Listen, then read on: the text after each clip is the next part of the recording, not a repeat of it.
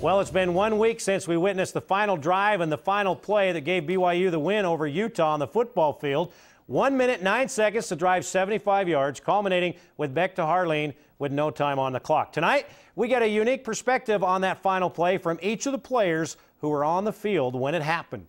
Hopefully, we have a fantastic finish in store for you. John Beck takes the snap. John throws, complete to Bryce Mahuika at the 35.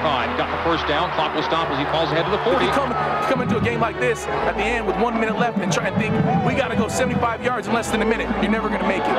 Plenty of time. Looking, looking, looking. Throw in complete for Harline 40 and 38-yard line. Drop there.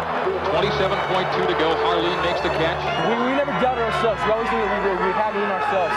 Um, but as a team, that we were capable of coming back when it mattered. We were capable of make, making the play when it mattered. And if I could pick one play in one place on earth to make it happen at the end of the game, it'd have been right here right now. John takes a three-step drop. BYU holds off rushers. It is caught by McKay Jacobson at the 13-yard line. First down. We knew that no matter what we did, we're going to come back somehow, some way. It was about the longest three seconds. I know it was more than that with the clock running out, but uh, it seemed like forever. Watching the film, it definitely seems a whole lot longer than it was, but it, uh, definitely worth it. This is just the last play of the of the game, the one that will go down in, in the history books. On this play, me and Matt Allen, we have kind of like a crossing route. I was going to go for the post. Matt Allen had the corner. Kind of puts this safety right here in a bind on uh, if he should take the corner or the post. It's kind of in the middle, running the corner route. And uh, as I went up, wasn't open uh, from, from, from the start. And then also Bryce Mahuika here has the uh, has the bubble to kind of to occupy this backer right here. I was doing a swing route on the bottom side. I think we had a post and something else on the side I was on too. Anyway, none of that really worked anyways. As it pans out, we have that crossing route and kind of everybody was taking areas. And I was like, man, I'm not gonna be able to make a play from there. So I released inside and just got in the end zone and just kind of sat, sat in between guys. Did a, a pretty good job of defending it, and then the big mistake though was only by rushing three and giving John time to, to kind of dance around out there. I didn't think that first the first route was going to be the one that got open, and sure enough, it wasn't. We blocked as long as we could. And I'm back here trying to occupy, you know, the back of the end zone, and the rest of the receivers just trying to you know, have a good relationship with, with one another. John started scrambling, everyone started scrambling. Uh, me and Matt Allen were down in the bottom corner of the end zone, and John kind of scrambled our way, and then he scrambled the other way. So when he went the other way, me and Matt Allen took off running across the end zone. I was open for a second. I thought he was going to drill it in there, and as it turns out, I wasn't as open as I thought I was.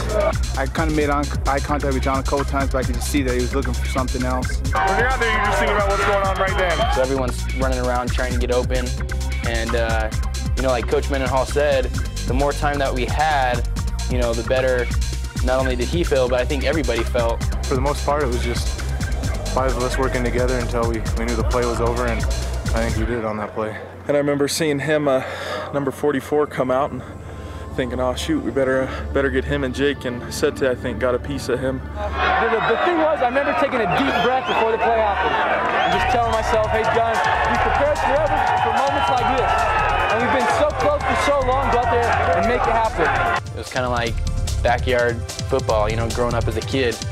You know, using the using the car and the fire hydrant to run your routes. When I was running across, I was just over in that corner. So when I came running across and I saw John turn and throw it back, I was like, who is he throwing it to? Because I was just over there and I came running over here, so I didn't think anyone was over there. I follow him as does everybody else, and he chucks the ball up in the air, and I'm thinking, where is he throwing this ball? Jonny's over here, and he got this guy kind of, you know, watching, making sure that he didn't, he didn't throw to the corner of the end zone, with no one really watching him or even following him.